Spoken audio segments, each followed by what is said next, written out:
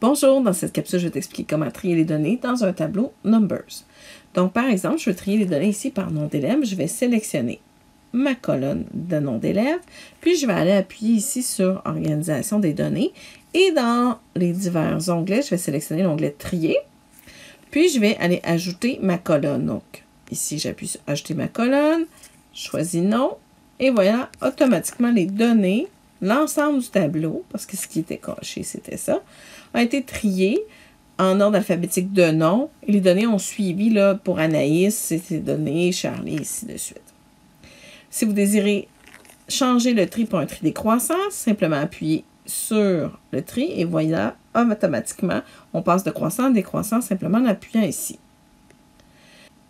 Si vous désirez supprimer le tri, il suffit de glisser vers la gauche, puis d'appuyer sur supprimer.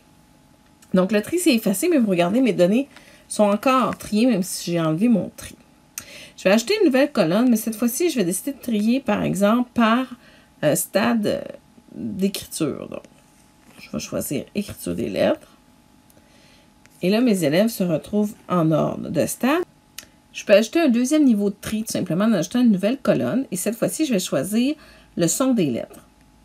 Donc, automatiquement, vous voyez que dans le stade 2, l'ordre des élèves va avec le nombre de sons de lettres connues de mes élèves.